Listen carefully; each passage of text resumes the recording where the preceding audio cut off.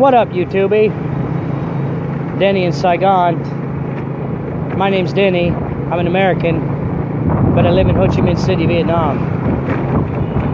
Uh, Vietnam is in Asia, in case you don't know, Southeast Asia. And uh, so I'm on the other side of the world from the USA, almost directly, except for I'm uh, closer to the equator. Uh, I'm actually from the state of Indiana. It's, uh, it's near Chicago, basically between Chicago and New York, if you're unfamiliar with it. Um, I don't think very many Vietnamese are watching my videos, but maybe some. Uh, you are watching my videos, I appreciate it. Uh, I like to just kind of ride around and rant and uh, make videos. I don't I'm, I'm, talking to myself basically, but some people are watching. I appreciate the comments that people are leaving. Uh, it's very cool, and I agree with every everything that you guys are saying. I've been talking about how uh, difficult it's going to be for me to transition back to the west from the east, and uh, the lot one. I, I, agree with everything that you said in your comments. It's going to be a lot harder um, for me in the west. There's no doubt. If I go back to Indiana, I can actually get a cheap room for probably about 600 a month, uh, plus utilities and all that. I, I, hate paying utilities in the West. They soak you. Uh, have to go back and pay to heat my home and all that. I don't know if I told you the story before, if you caught it, but you know, uh, my hometown. One time, a few years ago, uh, I was uh, I rented a, a, apartment above my brother's uh, tattoo shop, and the first full month, the, the utility company sent me a thousand dollar water bill. My first full water bill was a thousand damn dollars, all because my toilet was running a little bit. You know, it was it was a trickle, it was trickling, and I did shut it off quite a few times, but a couple times I missed it went to work for 12 hours.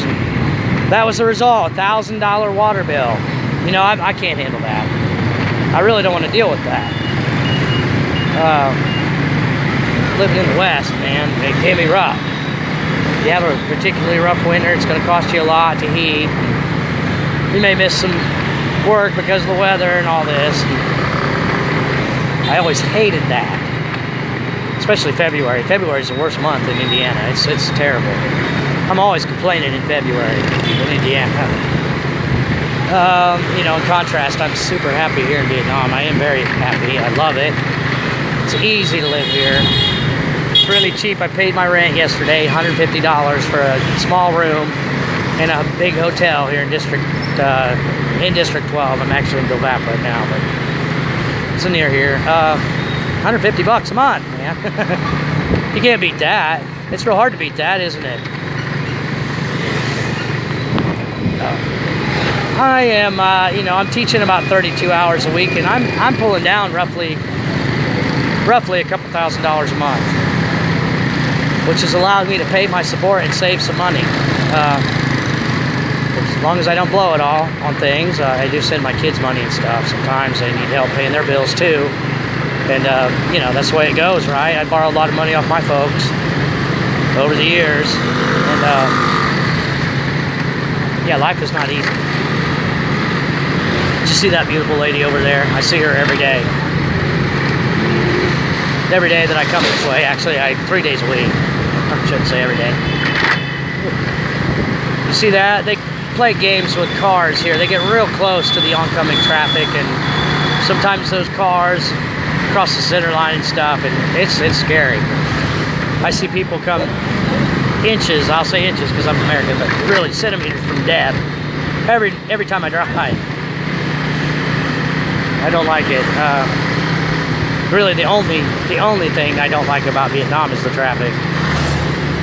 And uh, you know, you can survive it uh, probably. It's going to increase your risk of dying in traffic is all. And uh, you can, you're careful, you could probably survive it. careful and a little lucky. Um, I know some people think about coming here. It's it's easy to transition from west to east. It's easy. And uh, the story is true. I came from Cambodia to Vietnam with about $20 in my pocket found a job teaching the very next day. Got on Facebook and applied and uh, put my, you know, my CV on Facebook. And I was teaching by two o'clock, public schools, getting paid right away and stuff. I survived. Uh, started out in a hostel, right? You can rent a hostel over on uh, Walking Street for about four dollars a night. You know. Uh, Vietnam is easy compared to the West. Uh, when I went out to San Diego, I was out in San Diego for a while a few years ago, and um, it was outrageous, man. That that was crazy. I think I was paying $800 a month for a bed in a garage. Uh, lived in my van for a while, but the hills, you know, it's flat in Indiana, and the hills out west killed my van pretty much. It was an old van, anyways. Uh, ended up taking the bus back to Indiana. I hate taking the bus. I really do. We took a bus the other day to Phnom Penh. I got stuck on the other side of the border. Fortunately, uh, was, we had enough time to catch the last bus. We could have stayed there at the border town, uh, Moc Bai. There's casinos there and stuff. I, I don't really know anything about Moc Bai. But I know Phnom Penh. And I know Saigon by now. Uh, I'd like to go live in uh, Bangkok for a while, but you know, I'd need money to do that. That's probably not going to happen. Not at this point in my life, but uh, coming back to live in Indiana is uh, is not a pleasant thought. But here's the thing: I really miss my family. Uh, I'd like to fly my kids here to see me. A couple of them won't fly here to see me, probably no matter what. And I can't afford to fly my whole family here. You know, I'd like to see my dad. It's my adopted dad, but I love him. I miss him. I'd like to see my mom. I'd like to see my stepdad. I got, you know, uncles and aunts and stuff. I, I got family I'd like to see real bad. Of course, I got my grandsons. I miss them real bad. I haven't met my youngest grandson yet, so uh, I'm gonna go home for at least the summer. If I uh, if I can't make it, yeah, I'm gonna jump on a plane and fly back here. Get my old jobs back probably and start teaching again. I think I can maybe maybe teach for another 10 years here. You know, or I could go back to the USA and drive a truck for 10 years and uh, save all that money. Live in my truck and save the money. Of course, I'm not going to be with my kids if I do that. Won't be in Indiana. I'll be out running around. So,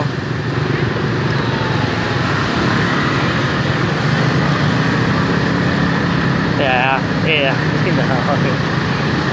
Whatever. Anyways, uh, I'm going to go teach now. I'm going to go sit at the coffee shop for about an hour.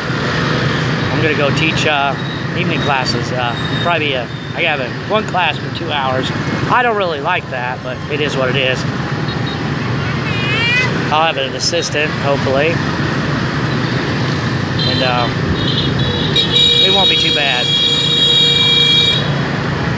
I'm anxious to get back to this uh, language center. I love this language center. It's a very nice place to work for me. They pay me on time every week, uh, pretty much on time. Every once in a while, they pay me a day late. It's no problem. I know they'll pay me. I trust them. And uh, so I got one monthly check and one weekly check. I'm living off the weekly and saving the monthly mostly. Paying my back support and all that. Uh, in the West. The West is the best, so they say. Hi, sweetie. They're very cute. Uh, I guarantee if you come here to teach, you will fall in love with the kids. They are adorable. I love them very much. But my little students at the preschool I just left, uh, they're just they're just real beautiful little kids. They love to hug me. They grab my tie and pull me down and hug me and kiss me. I really love that. Uh, sometimes it's time to leave the class. I have a hard time standing up because they like surround me and stuff, and hugging me and all that. Uh, it's nice, and the parents are all very kind to me. One time, a guy saw me sitting at a coffee shop, bought me a coffee because he recognized me as a, I was teaching his kids somewhere.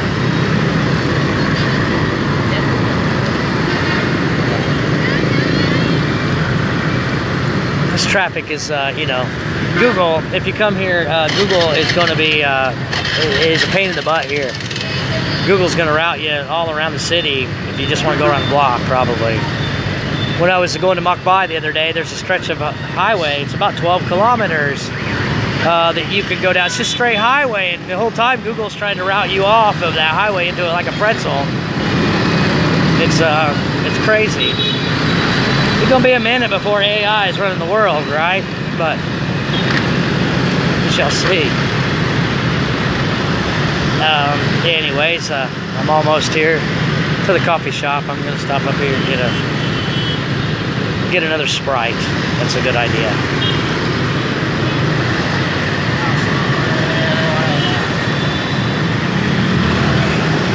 This is a busy highway right here. I always wait for the cars and then I kind of sneak across here. Think I can make it. There we go. You go and they stop and they go and you stop and that's how it works. Kind of like driving around a big parking lot. Anyways, uh, my name's Denny and uh, thanks for watching my video. I really hope you have a nice day.